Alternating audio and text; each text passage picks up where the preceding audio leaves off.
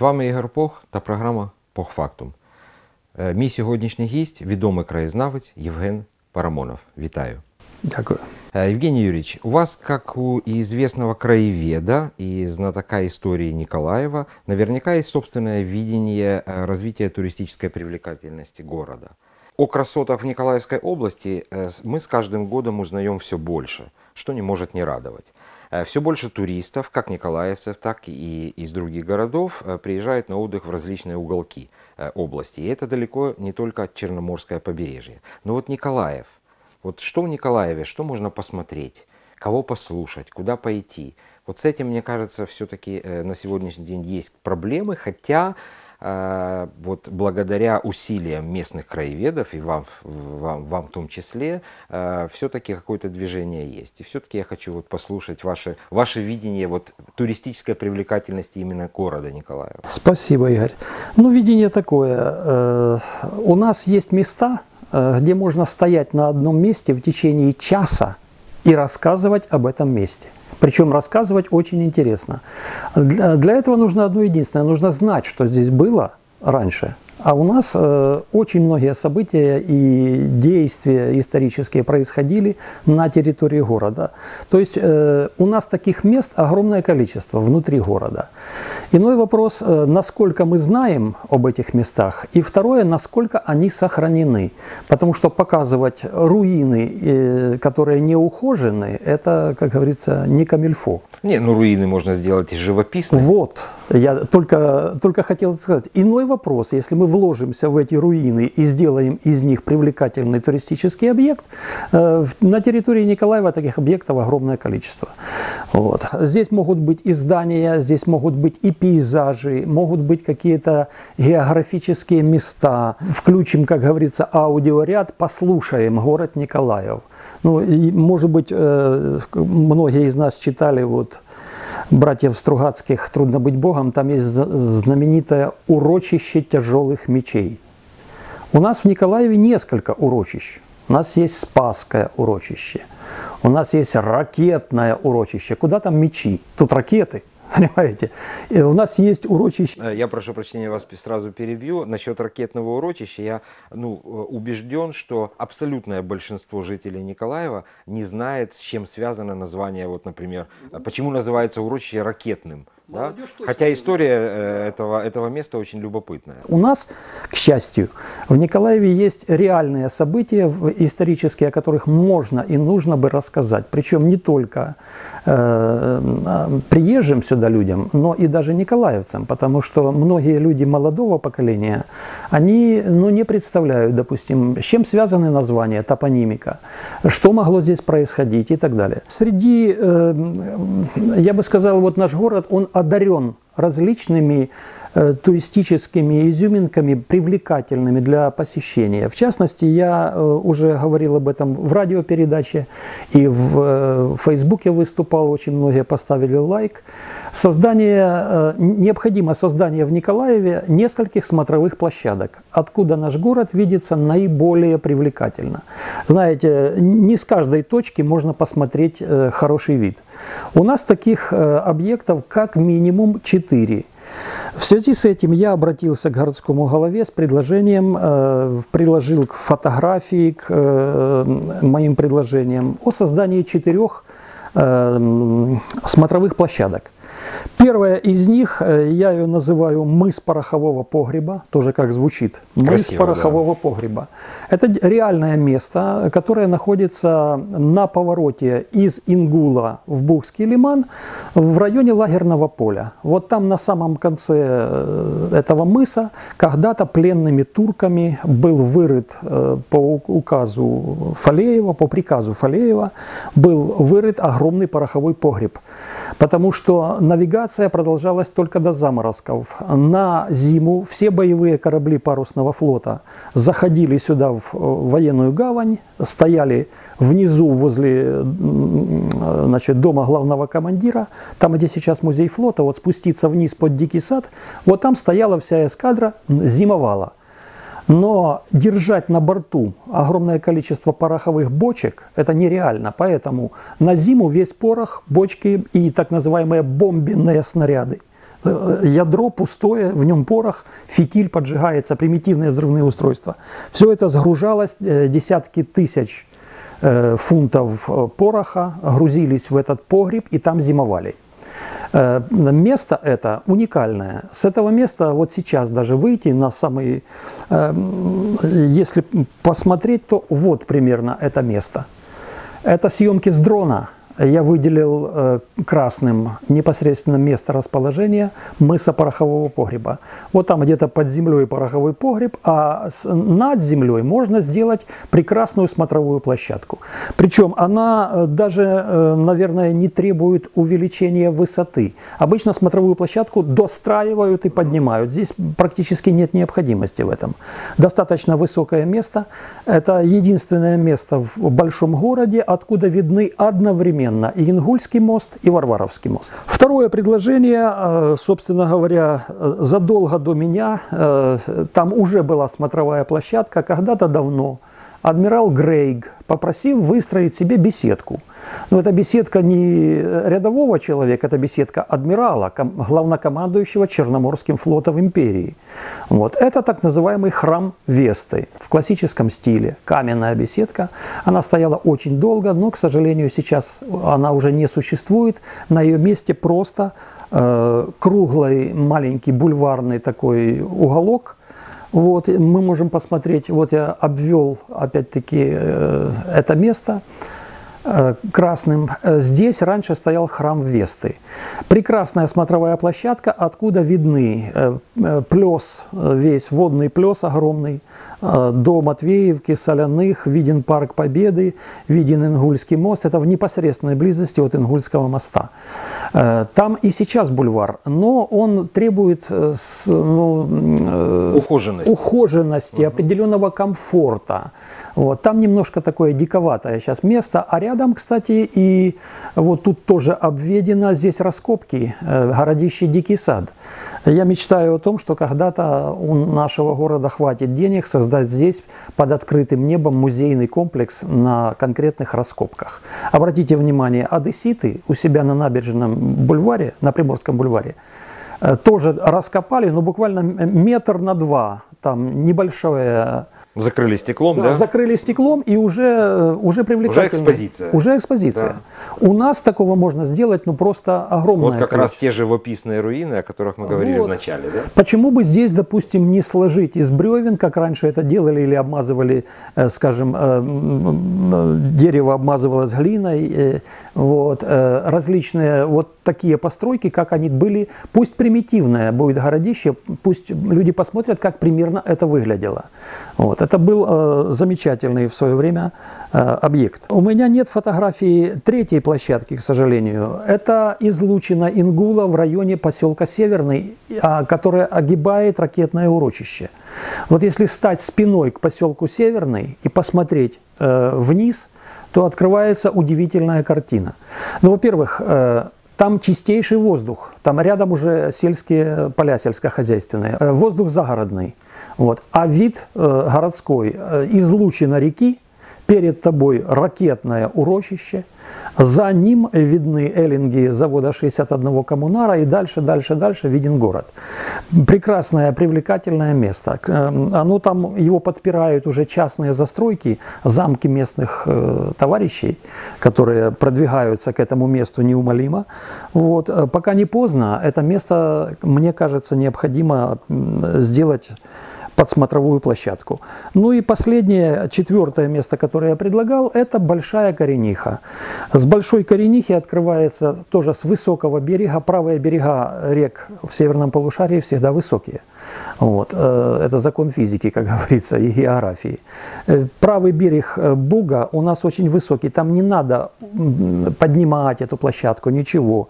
И будем иметь прекрасный вид на намыв. Вот. Причем э, вид который идет Бокский лиман, виден Варваровский мост, виден завод, вот, виден порт и прямо перед тобой намыв. Удивительное место, я однажды туда случайно попал, и с тех пор я заворожен этим местом. Нужно сказать, что я подал по данным трем, э, четырем объектам письмо городскому голове, и мне пришел ответ.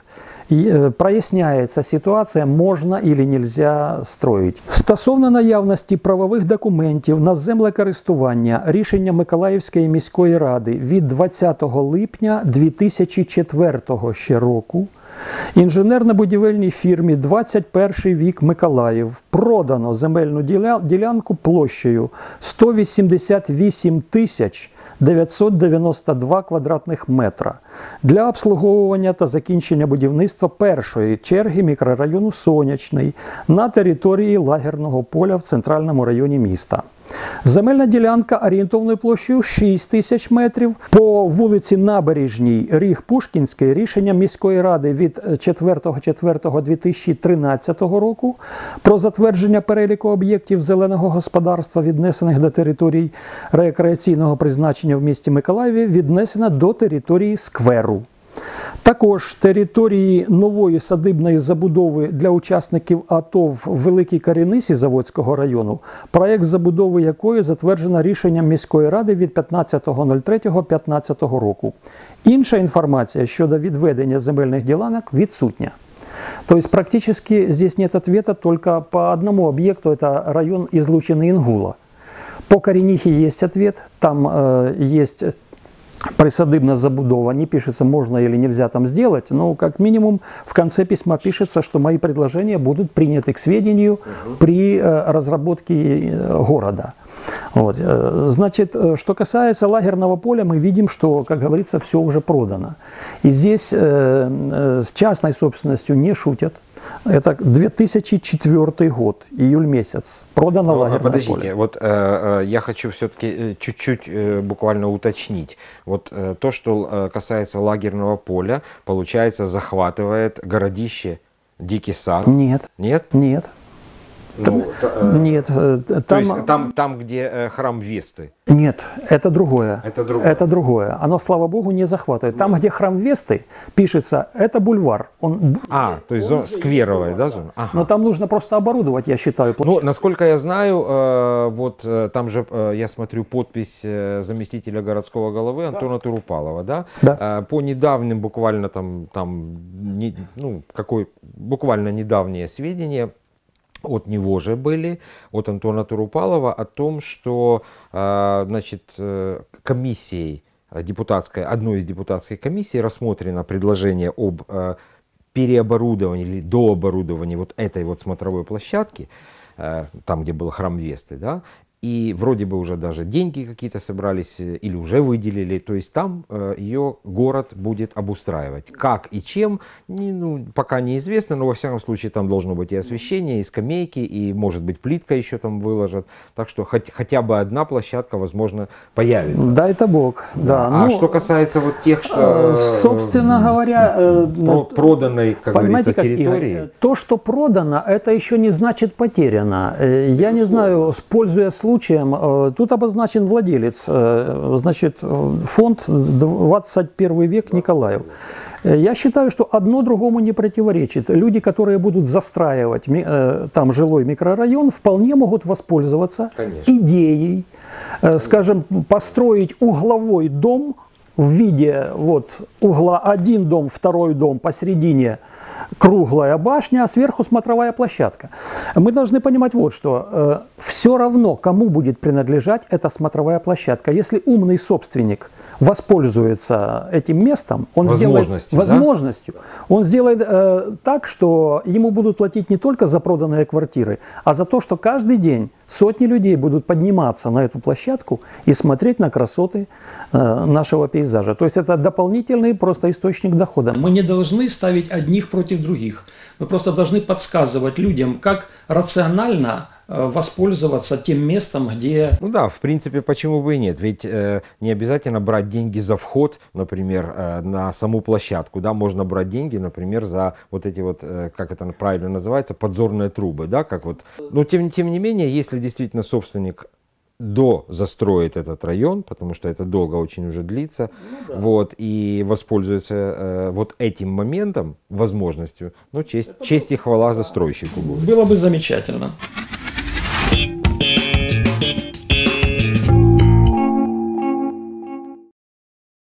Юрьевич, как вы считаете, ну вот э, туристическая привлекательность города, она в первую очередь должна коснуться николаевцев, либо приезжих, либо э, все взаимосвязано в, в этом.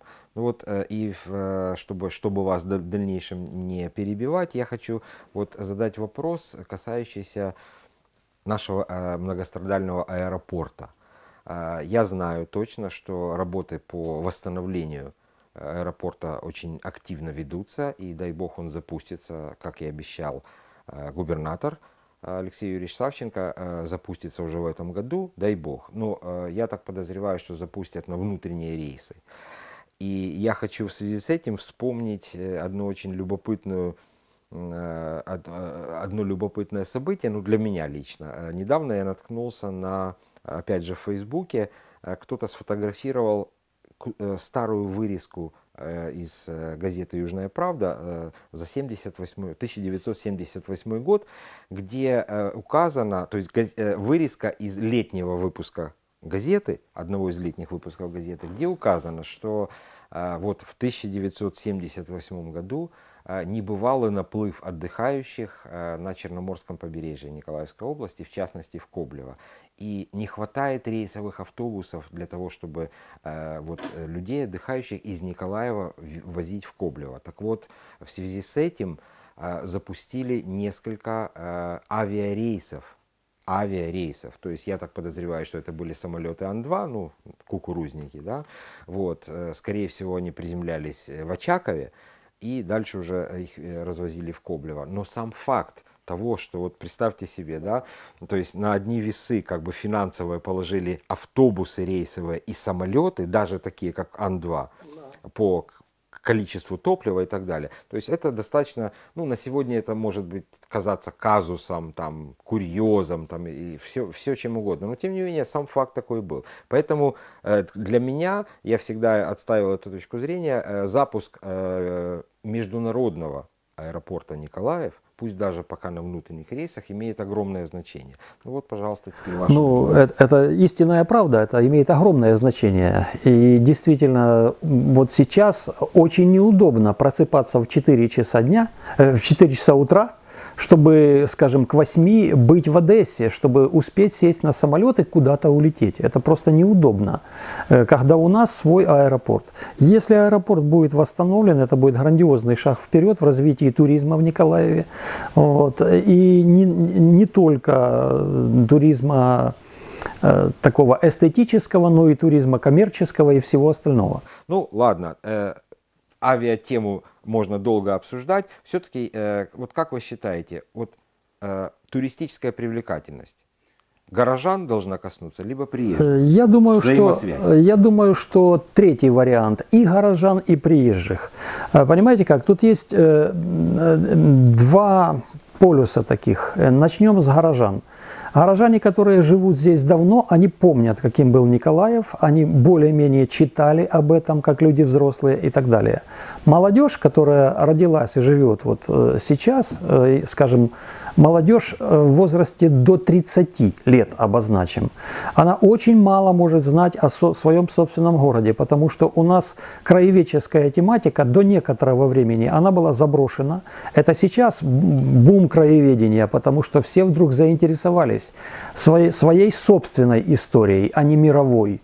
Вот. У нас иногда знают, как называются замки в Шотландии, но не знают, э, сколько ступенек у нас э, от э, Пушки к Нижнему Баму идет. Кстати, сколько? Это интересный вопрос. В Одесской лестнице, в Одесской, 192 ступеньки. В Николаевской ровно на 100 меньше, 92. Николаев – это бездонная бочка редкостей, э, которая закрыта пока что, ее никто не раскупорил. И тут мы переходим к вопросу иностранного туризма или хотя бы внутри украинского из других городов. Мы охотно ездим в Черновцы, в Закарпатье, куда угодно. Почему к нам не едут? Это надо организовать просто. В конце концов, я понимаю, у туристических фирм конкуренция. Но соберитесь, э, это же общий интерес. Надо выработать какую-то совместную политику в плане того, как сюда привести. Ну вот видите, э, опять же, это связано, как вы правильно совершенно заметили, с туристическим маркетингом. Да. То есть, когда задают вопрос, ну, люди, скажем, которые никогда не бывали в Николаеве, либо бывали проездом, либо так, между прочим, а и которые собираются приехать в Николаев, они э, э, в первую очередь задают, вопрос, а куда можно пойти, да? а что можно посмотреть? Э, ну, что, что тут такого? И мы начинаем перечислять, там, зоопарк, хорошо, набережная, там, БАМ, да, верхний, нижний, хорошо, что еще? Ну, по Соборной, бывшей советской, пройтись туда-сюда, прекрасно. А что еще? И вот тут да. начинаются э, потуги э, каждого николаевца что-то придумать такое. И в результате э, многие говорят, да, в принципе, нечего тут смотреть, давайте поедем в Коблево или ну, еще да, куда-нибудь. Да, да. Да? Вот. И в результате получается, что в Николаеве-то и смотреть нечего. Хотя, хотя, вот э, можно еще затронуть такую очень кратенько такую э, тему э, завода э, имени 61 коммунара, вернее не самого завода, а крейсера, который когда-то назывался Украина, а сейчас просто там э, порядковый номер, да, который стоит на приколе и не туда и не сюда. И э, завод государственный в оборонпром, Укроборонпром входит, э, Укроборонпром ничего не, не желает э, ну, каких-то шагов делать, э, связанных с этим крейсером, который ржавеет себе, а в, тем не менее его нужно поддерживать, на это тратятся большие деньги и так далее, и так далее, вместо того, чтобы из этого крейсера можно было сделать великолепный туристический объект либо музей, либо просто крейсер, как военная, военный корабль, э, чтобы водить туда людей. Ну, такого на самом деле в мире не очень много. Да. Немного. И, и, к сожалению, позволить себе такое могут тоже далеко не каждая страна. Китай может, мы нет. Ну, тем не менее, это можно было на, как это э, модное слово, аутсорс, да, то есть э, передать в частное, в частное пользование я, чтобы сделать из этого Я хочу сказать, что в Николаеве огромное количество таких объектов. Вопрос в том, что у нас так сложилось. Николаев – это закрытый город, всегда был закрытый, военный город. Город этот строился для войны, для производства боевых, прежде всего, судов. И поэтому здесь все засекречено, закрыто. Алло, пожарная, у нас пожар, мы горим. Какой ваш адрес? У нас нет адреса почтовый ящик, понимаете, вот это из анекдотов николаевских. Вот. Э, у нас э, проблема, мы никак не можем раскрыться. Это город, который до сих пор не раскрыт публике. А сюда можно привлекать из всех городов Украины и даже из-за рубежа. Посмотреть хотя бы те же эллинги 61 коммунара, которые заброшены и стоят. Это гигантское сооружение просто гигантская. Ту же Шуховскую башню, которая ждет, когда ее облагородят. Ну, тоже есть, есть слухи упорные вот последнего времени, что вроде бы из нее собираются сделать некий туристический да. объект. Как это будет, что это будет, неизвестно, но городская власть заинтересовалась объектом. Я Уже знаю, хорошо. что группа активистов активно это продвигала да. это дело. Вот. Это действительно один из уникальных объектов города, который в достаточно хорошем состоянии еще находится. Вот. Э, эта башня строилась из расчета выдержать э, бак весом в 50 тысяч ведер воды. Это 500 тонн. Евгений Юрьевич, у нас, э, к сожалению, подходит программа к концу, и э, я хочу задать последний вопрос, постарайтесь, пожалуйста, на него кратенько ответить. Вот смотрите, есть такая точка зрения. Э, может быть, вообще не трогать старый город, чтобы не превратить то, что еще осталось от прежних времен, ну, в современное, красивое, удобное, но совершенно чуждое вот нашему николаевскому менталитету жизненное пространство. Либо а, все-таки нужно что-то менять и превращать э, вот какие-то вот, о чем мы э, всю программу проговорили, в туристическое пространство, в живописные руины, которые могут приносить и доход, и эстетическое удовольствие. Э, я думаю, что жесткую альтернативу здесь ставить нельзя, тут надо смотреть по объекту. В Николаеве, в общем-то, достаточно много совершенно безликих домов, которые не грех и снести. Если их не трогать, они развалятся сами. Иной вопрос, что есть достаточно презентабельное здание, э, как правило, каменное из известняка, с хорошим фасадом и так далее. Вот тут необходимо э, облагородить дом. Э, ярчайший пример такого облагораживания – это так называемый польский дом – который э, находится на Пушкинском кольце, просто из пескоструйного аппарата почистили фасад, и он просто приобрел другой вид. Где-то подмазали. Э, отличные есть места. Если не трогать, объект развалится. Да, если э, облагораживать, то с умом. Окей, остановимся на том, что все нужно делать с умом. Так точно. А, благодарю вас за участие в программе. А, дякую за участь в программе Євгена Парамонова Е, відомого краєзнавця. А я з вами прощаюсь. З вами був Ігор Пох. До зустрічі.